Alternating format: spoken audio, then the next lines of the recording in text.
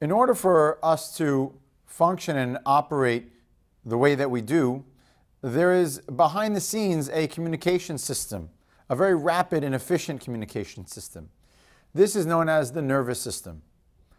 Communication occurs within the nervous system via neurons. Neurons are cells that have highly specialized tasks and methods for both receiving and transmitting information all across the body. The neurons have a very specific structure. There are three parts to the structure that we'll focus on for the purposes of the CLEP exam. We have the cell body, which contains the central operating system, if you were, of the cells, which contains the nucleus, where all of the energy is produced and uh, uh, the efficiency of the entire cell uh, is focused in the cell body. Next, we have the dendrites. The dendrites up here and all around here, these little branches that jet out, these take information in from the outside of the cell. They're feelers that look out for information and bring that information into the center of the cell, into the cell body. Then we have the axons. The axons pass information along to other nerve cells, and the axon typically is one single strand, and at the very end of the axon are axon terminals. And this provides a very efficient way to get information from the cell out to the rest of the body. Another important feature of the nerve is something called the myelin sheath. The myelin sheath cover the axon on some of the neurons, not necessarily all neurons. And the purpose, I'm going to go back here, the purpose of the myelin sheath right here, this covering here, it's like the covering that you might find on an electrical wire. It's meant to insulate the communication and the transmission of electrical impulses along the axon so that the information travels in a rapid fashion and, as we said, in, a, in an efficient manner. You'll notice that in between the myelin sheath, there are breaks in the line. These are referred to as the nodes of Ranvier. It's almost like a, a, a, subway car. They're not fully attached all the way through. At least in the New York City subway, there are breaks and gaps in between the protected areas of the axon. Let's now talk about some of the uh, functions within uh, the nervous system.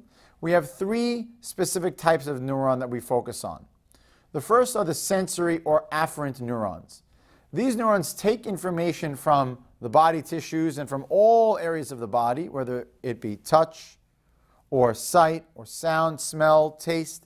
All of the senses gather information and send that along these neural pathways into the, along the spinal cord up into the brain.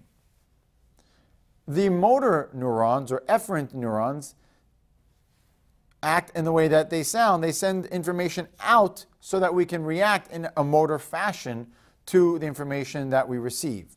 So information is sent from the spinal cord and the brain outwards to the body tissues, to the muscles, and to our sensory organs in order to respond to the environment.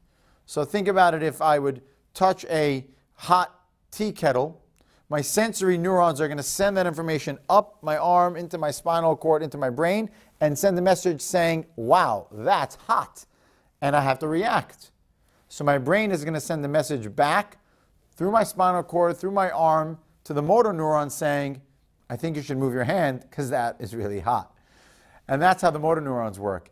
In between the sensory and the motor neurons are interneurons or association neurons. These are the neurons that communicate information between the motor and sensory neurons, and these are the most abundant within the body. Neurons work through the use of electrical impulses and neurotransmitters. Neurotransmitters are chemical molecules that are contained within something called a vesicle, almost like a sac, at the end of an axon terminal. You can see here, this was the soma that we talked about earlier. The dendrites were up here, and these are the, this is the axon that sends information outwards. And at the bottom of the axon is this vesicle area. Within this vesicle area or the sac are contained our neurotransmitters, these chemical molecules which communicate across the synapse and the, the gap within a axon. And on the other side of this gap is the receiving dendrite of the next neuron. So this is how communication occurs, traveling through the axon, releasing and stimulating the neurotransmitters, which travels through the gap and stimulates information on the receiving dendrite, which then fires information out to the next neuron. Any neurotransmitter that is left inside of the gap, any of these chemicals that are left in that space, are broken down and absorbed back into the neuron, and this process is called reuptake. It's kind of like a uh, recycling system. So anything that's left over we want to try to reuse and be efficient.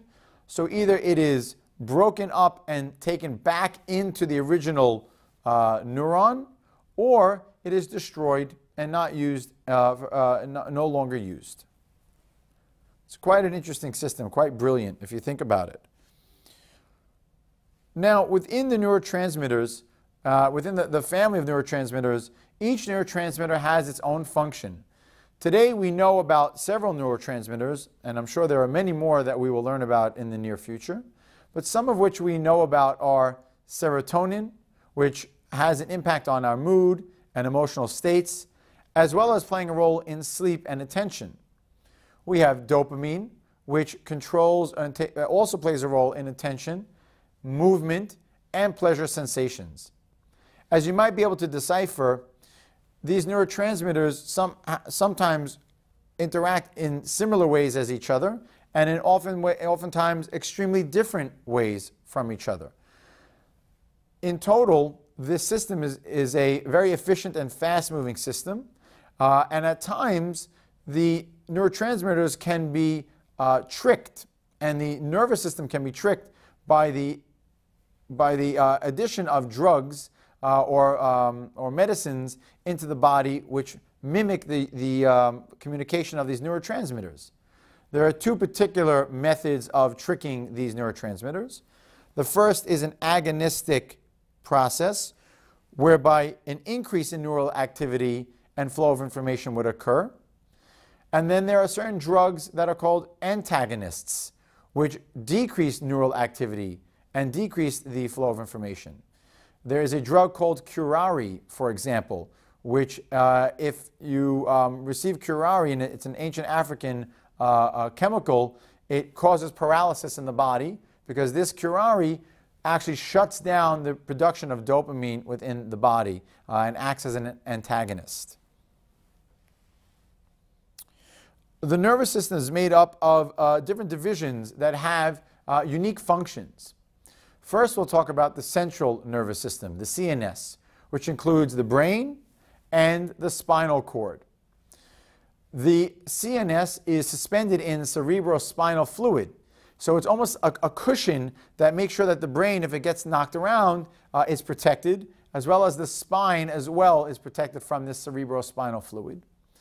The CNS controls reflexive behavior.